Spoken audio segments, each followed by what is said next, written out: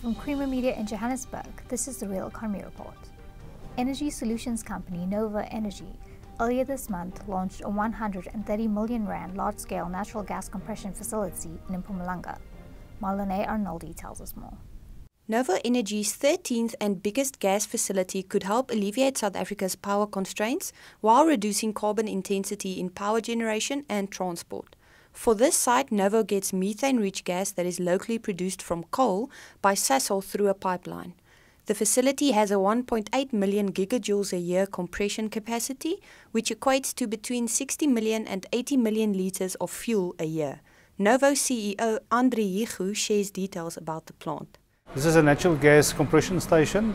So we receive gas from a Sasol pipeline, a methane-rich gas pipeline. Uh, we then compress the gas through our compression stage, uh, and thereafter it goes into a storage system, a buffer system, just to make sure the compressors don't start and stop the whole time. And thereafter we dispense it either into vehicles, or there's a loading facility as well that actually loads it into into large trailers. Um, it's mobile mobile storage that we can then transport to our customers um, at the point of, of use or application. The facility is based in the Highveld Industrial Park, which used to be Evraz Highveld Steel's manufacturing facility up until it closed in February 2016. The site is surrounded by industrial activity. Hugo tells us more about the site. Uh, we started about six months ago with the construction on the site. Um, there's quite a bit of pre-planning before that. Um, it's quite an important decision on location for us.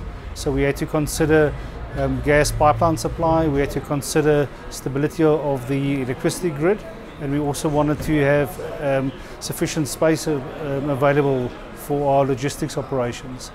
Consumers' concerns about the national power supply and grid connection challenges has increased the demand for off-grid embedded power generation from natural gas.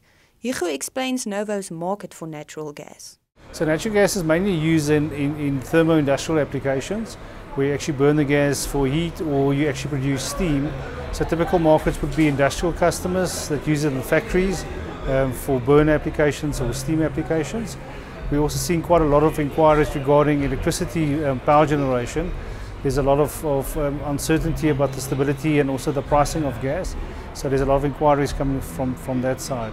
That's Creamer Media's Real Economy Report. Join us again next week for more news and insights into South Africa's real economy.